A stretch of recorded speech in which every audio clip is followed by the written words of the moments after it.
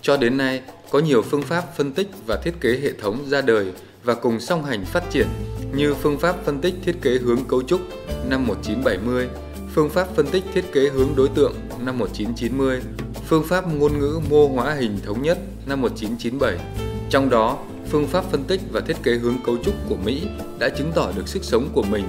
vì hiện đang là phương pháp có số người sử dụng rộng rãi nhất hiện nay. Phương pháp phân tích và thiết kế hướng cấu trúc SADT dựa theo phương pháp đã phân rã một hệ thống lớn thành các hệ thống con đơn giản hơn, có hệ thống trợ giúp theo kiểu đồ họa để biểu diễn các hệ thống và việc trao đổi thông tin giữa các hệ thống con. Kỹ thuật chủ yếu của SADT là dựa trên sơ đồ luồng dữ liệu Data Flow Diagram, từ điển dữ liệu Data Dictionary, ngôn ngữ mô tả có cấu trúc Structure English, bảng quyết định Decision Table với mục đích cung cấp cho bạn đọc những kiến thức cơ bản về phân tích và thiết kế hệ thống thông tin trên cơ sở cập nhật nhiều nội dung và kiến thức mới. Nhà xuất bản Thông tin và Truyền thông tái bản lần 2 cuốn sách Kỹ thuật phân tích và thiết kế hệ thống thông tin hướng cấu trúc do tiến sĩ Lê Văn Phùng, Viện Công nghệ Thông tin, Viện Khoa học và Công nghệ Việt Nam biên soạn. Cuốn sách chủ yếu giới thiệu những kỹ năng thực hành trong việc phân tích và thiết kế một hệ thống thông tin quản lý. Đây là những kỹ thuật cơ bản và thường gặp ở các giai đoạn triển khai của chu trình hệ thống. Nội dung cuốn sách gồm 4 chương. Chương 1 trình bày những khái niệm cơ bản về hệ thống và hệ thống thông tin.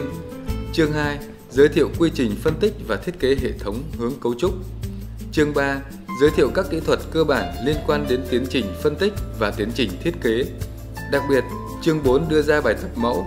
phân tích thiết kế hệ thống kinh doanh bán buôn được trình bày ngắn gọn, đơn giản, dễ hiểu và dễ áp dụng. Cuốn sách mang tính thực hành cao và được đúc rút từ nhiều năm trải nghiệm đào tạo cho sinh viên chuyên ngành công nghệ thông tin các trường đại học Quốc gia Hà Nội, Viện Đại học Mở Hà Nội, Đại học Giao thông Vận tải, Đại học Giao thông Vận tải, Học viện An ninh Nhân dân, vân vân và nhiều trung tâm tin học ở các tỉnh thành trong cả nước. Hy vọng cuốn sách sẽ thực sự hữu ích đối với các kỹ sư, kỹ thuật viên, cán bộ giảng dạy và sinh viên ngành công nghệ thông tin khi thực hiện các đề tài, đồ án, các dự án cũng như trong giảng dạy, học tập và vận hành các hệ thống thông tin. Ngoài ra, cuốn sách cũng là tài liệu tham khảo bổ ích cho bạn đọc quan tâm tới lĩnh vực này. Nhà xuất bản Thông tin và Truyền thông trân trọng giới thiệu cùng bạn đọc